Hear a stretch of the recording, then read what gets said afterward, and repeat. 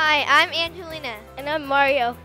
Wow, I'm amazed at how much fun it is to be broadcast the Nature Valley First Tee Open to the uh, to the whole world.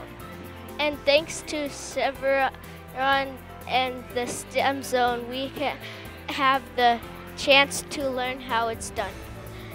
And and now a word from our sponsors.